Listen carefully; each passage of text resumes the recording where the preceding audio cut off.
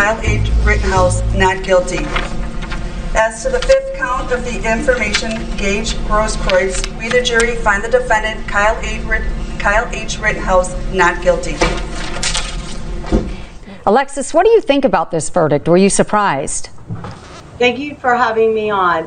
Uh, not really, unfortunately. I mean, trials are really the tales of the competing narratives.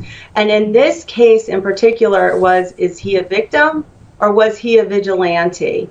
And I mean, the prosecutors really had a very high hell really mountain to overcome because of Wisconsin's law and the low threshold for self defense. I mean, we had a situation where the defendant just has to claim that he acted in self defense, and then the burden shifts all the way back to the prosecution to prove that he didn't act in self defense, that a reasonable person in that situation of reasonable intelligence would have done the same thing, thought their life was threatened, and acted in self defense. That's a really strong threshold, coupled with the fact that Rittenhouse was on the stand. He was very upset. You mentioned he was upset when the verdict came. Some said that he was crying on cue.